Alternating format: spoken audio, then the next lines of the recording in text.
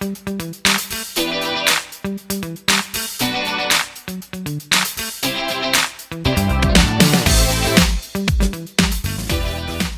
ดีครับ ท่านผู้ชมที่ชมรายการร้านหนึ่งชมสวนอยู่ในช่วงนี้นะครับ วันนี้ก็ร้านหนึ่งมีดอกไม้สวยๆ มาฝากท่านผู้ชม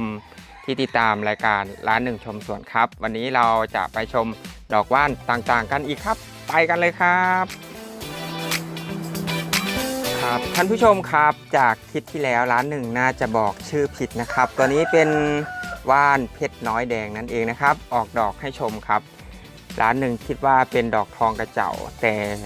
มานั่งดูข้อมูลอีกทีไม่ใช่นะครับ เป็นว่านเพชรน้อยแดงนั่นเองครับ ต้องขอประทานอภัยท่านผู้ชมที่รับชมคลิปที่แล้วด้วยนะครับ นี่คือชื่อที่ถูกต้องนะครับเพชรน้อยแดง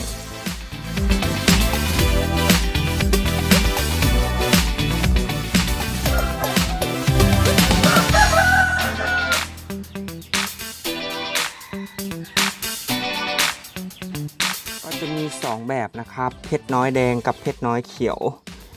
ตัวนี้เป็นเพชรน้อยสีเขียวครับ ดอกเหมือนกันครับกำลังออกช่อดอกขึ้นมาให้ท่านผู้ชมได้รับชมครับนี่นี่จะแทงหน่อขึ้นมาครับ แล้วก็มีดอกตามมาด้วย ท่านผู้ชมครับที่มองเห็นใบใหญ่ ๆ นี้คือ ดอกกระเจียวบ้านไร่เลสนะครับ บางท่านก็เรียกเลสบ้านไร่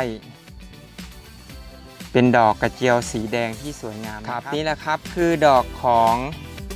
กระเจียวบ้านไร่เลสนั่นเองครับ จะเป็นดอกสีแดงเข้มสดสวยครับ ปลูกง่ายด้วยนะครับ ขยายพันธุ์ง่ายด้วย อันนี้เป็นดอกแรกของปีนี้นะครับ จากปีที่แล้วกอใหญ่ร้านหนึ่งได้ขยายไปในสวนบ้างแล้ว ตอนนี้ออกหน่อมา 2 หน่อนั่นเองครับสำหรับกระเจียวบานไล่เลส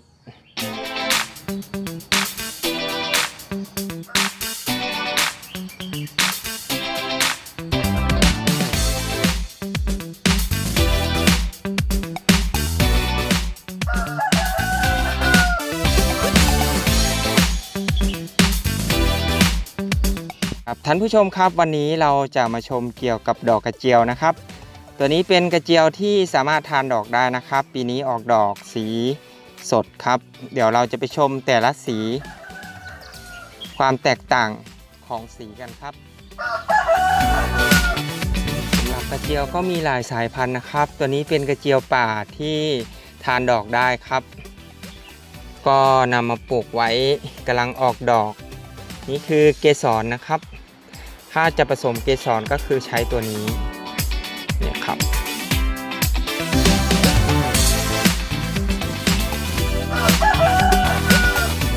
ครับวันนี้เราจะมาชมเกี่ยวกับดอกกระเจียวนะครับ ตัวนี้เป็นกระเจียวที่สามารถทานดอกได้นะครับ ปีนี้ออกดอกสี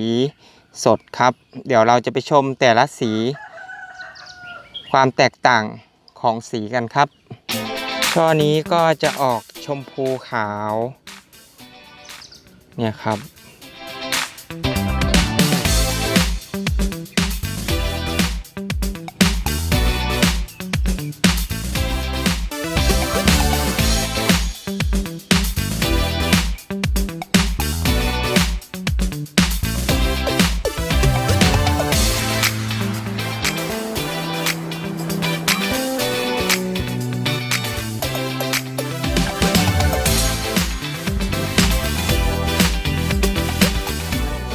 รับร้านหนึ่งก็จะสะสมดอกกระเจียวสีแปลกๆนะครับ มาไว้ที่หน้าบ้านปลูกไว้ชมนะครับ สามารถเก็บทานดอกได้นั่นเองครับ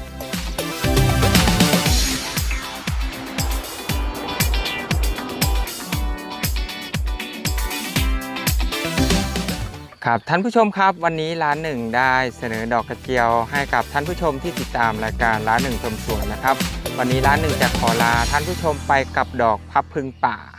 เมื่อคลิปก่อนๆร้านหนึ่งถ่ายยังตุ่มๆนะครับ ตอนนี้ร้านหนึ่งจะลาท่านผู้ชมไปกับดอกพับพึงป่าที่เบ่งบานในสวนนั่นเองครับ วันนี้ร้านหนึ่งต้องขอขอบคุณทุกท่านที่ติดตามชมและให้กำลังใจ แล้วอย่าลืมกดติดตามกด Subscribe ไว้นะครับ เพื่อชมคลิปต่อไป วันนี้ร้านหนึ่งต้องขอกล่าวคำว่า สวัสดีครับ บ๊ายบายครับ